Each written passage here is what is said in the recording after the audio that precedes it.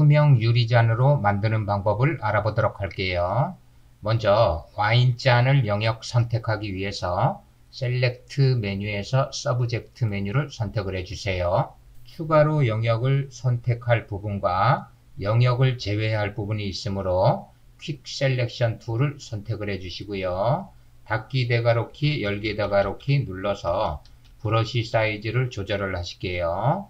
여기서는 15로 가도록 하겠습니다. 그리고 와인잔 하단을 드래그해서 추가로 영역을 선택을 해 주실게요. 손잡이 부분도 드래그해서 추가로 영역을 선택을 하겠습니다.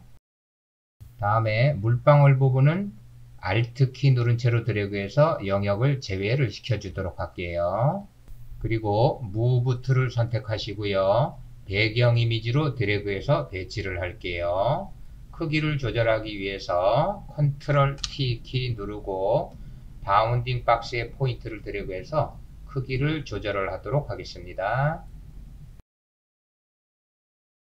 그리고 엔터 키 눌러서 확정을 지어 주시고요. 원본 이미지는 유리잔 안쪽에 흰색이 있기 때문에 뒤쪽 배경 이미지를 투영을 못 시키고 있습니다. 그래서 투명한 유리 느낌이 안 나는데요. 투명한 유리로 만들기 위해서 Layer 패널 하단에서 FX 레이어 스타일을 클릭하시고요.